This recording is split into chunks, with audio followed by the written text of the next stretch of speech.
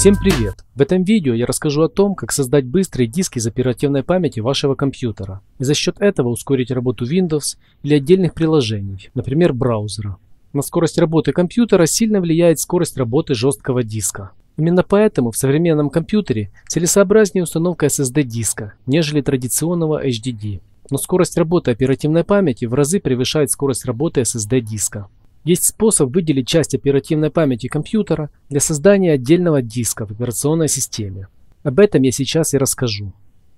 Друзья, если вам нужно восстановить удаленные данные, воспользуйтесь программами компании Hetman Software. Перейдите на сайт по ссылке из описания, бесплатно скачайте и установите программу. Затем запустите анализ диска. После анализа утилита отобразит файлы, доступные для восстановления, и вы сможете их вернуть. В нашем блоге представлены краткие руководства по решению любых проблем, возникающих у пользователей Windows. На нашем канале и в блоге вы найдете решение любого вопроса, начиная от установки системы и заканчивая удаленным администрированием и подключением мобильных устройств. Наши специалисты с радостью ответят на все ваши вопросы в комментариях к роликам или статьям. Итак, если у вас старый компьютер, нет SSD-диска, и вы хотите ускорить работу интернет-браузера или другого приложения, то сделать это можно, выделив часть оперативной памяти компьютера под отдельный диск. Сделать это можно с помощью программы AMD Radeon RAM Disk. Чтобы сделать это, скачайте RAM-диск с сайта разработчика по ссылке, которую я оставлю в описании. Установите и запустите программу.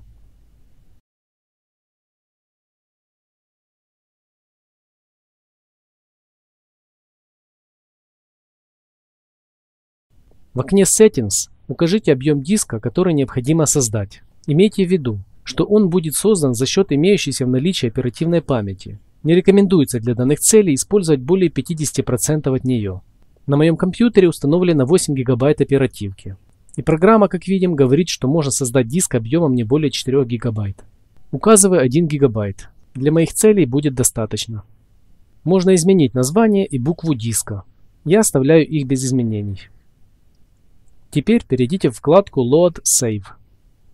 Здесь нужно указать диск, на котором будет храниться образ создаваемого диска. Укажите желаемый.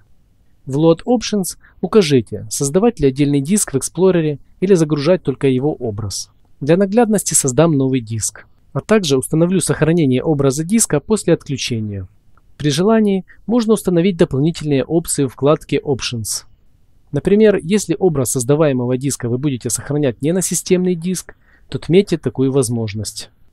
Также можно включить или отключить загрузку диска при старте системы и так далее. После настройки нажмите Start RAM Disk и запустится его создание. Дождитесь окончания этого процесса. Как видим, в папке «Этот компьютер» появился новый диск. На диске C, в моем случае, появилось два файла созданного виртуального диска с установленным названием и объемом. Перед началом его использования лучше перезагрузить компьютер. Как видим, я только что создал новый диск из части оперативной памяти своего ПК. Прежде чем делать с ним что-либо, давайте проверим скорость его работы. Для этого я буду использовать утилиту Crystal Disk Mark. Программа бесплатная. Ссылку на страничку для скачивания я оставляю в описании. Для этого открою Crystal Disk Mark и запущу тест установленного на моем ПК SSD диска и диска Z, созданного в оперативной памяти. В подробности погружаться не буду, но как можно увидеть, скорость чтения и записи созданного в оперативной памяти диска Z выше в много раз. Как же можно использовать такой диск? На нем можно разместить портативные версии программ. Или, например, небольшую виртуальную машину.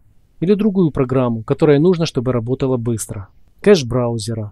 Осуществлять редактирование аудио или видео. Все зависит от имеющегося в наличии объема оперативной памяти и поставленных задач. Как пример, давайте покажу, как настроить сохранение кэша Google Chrome на RAM-диск для ускорения работы браузера. Чтобы сделать это, кликните правой кнопкой мыши на иконке Google Chrome. Google Chrome, свойства, ярлык. Теперь добавьте в строчку объект следующую команду. Я ее обязательно оставлю в описании к видео, где Z это буква вашего RAM диска. Применить Окей. Теперь, после использования некоторое время Google Chrome, на RAM диск Z появится папка с кэшем браузера, который будет туда сохраняться и оттуда загружаться, что в результате позволит работать браузеру намного быстрее.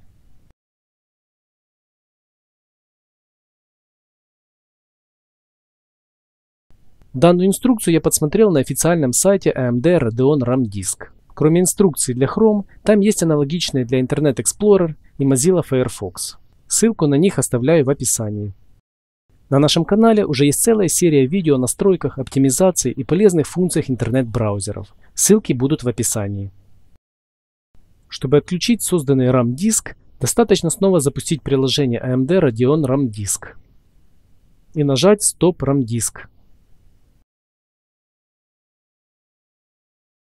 Все, диска Z больше нет в папке «Этот компьютер». Если его нужно удалить навсегда, удалите файлы образов, которые у меня расположены на диске C. Кстати, восстановить файлы из образов дисков или виртуальных жестких дисков можно с помощью Hetman Partition Recovery. Ссылка на страницу программы будет в описании. Плюсы такого способа использования оперативной памяти компьютера очевидны. Минусом есть то, что на период использования RAM-диск на компьютере стоит меньше оперативной памяти. На этом все. Если из данного видео вы узнали что-то новое, то ставьте под ним лайк. Подписывайтесь на канал Hetman Software и не пропустите другие полезные видео. Всем спасибо за просмотр, всем пока.